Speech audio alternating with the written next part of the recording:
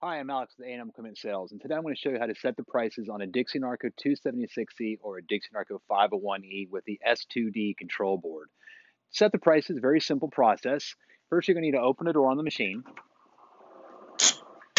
and you need to find the control board, which is on most machines, they're going to be located in the upper left-hand side of the machine, or they can be located down here in the middle of the machine here. What we're looking for on these control boards is the blue mode button, which I'm pointing to at this point. is a little blue button right here. That is a mode button. All you do at this point, just press that one time, like so. And once you have it pressed on the front display, it's going to read HD. To cycle the menu, we're just going to press selection buttons 1 and 2 together at the same time. Do that, I'm just going to press and hold. And what we're looking for is S-P, which is short for set price. Press and hold selection button. And there we are, S-P, set price. Now to set the prices, we're just going to go to each individual selection and set the prices. For this example, let's go ahead and set selection number one for 50 cents. So I press and hold it currently, it's going to show me the current price of $1.25. If I press and hold it and continue to hold it, the price will go up in 5 cent increments.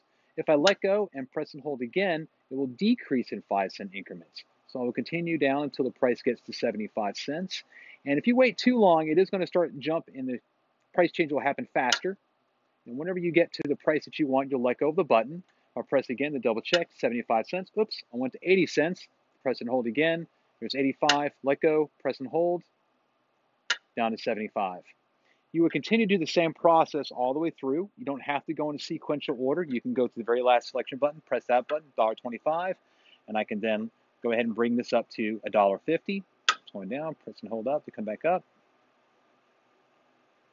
I might just keep going. I'll wait till I get to $1.50. And there's $1.50. Now, if your machine, you're going to sell everything for the same price, there is a shortcut. Instead of going through each nine or seven selections on your machine, you can set the price of selection button number one by pressing and holding the button. So let's go ahead and make this a dollar.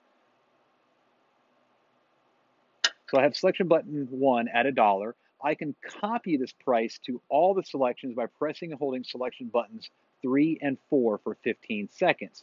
Now you remembered, when I set this price down here, I set that for $1.50. We go back up here, price 1 is set for a dollar. If I press and hold selection buttons 3 and 4 for 15 seconds, we go 1001, 1002, 1003, 1004, 1005, 1006, 1007, 1008, 1009, 2010, 2011, 2012, 2013, 2014, 2015.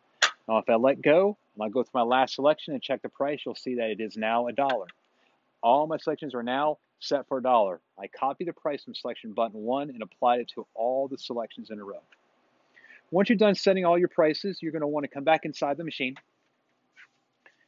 and pull the white interlock switch here to put the machine back into sales mode. At that point, you can go ahead and close the door and tighten it down. If you have all your prices set for a single price, that price will come up in the display. If you have different prices on your machine, all you will get is a decimal point on the display. And that's how you set the prices on a Dixie Narco 276E or 501E drink vending machine. And thank you for watching.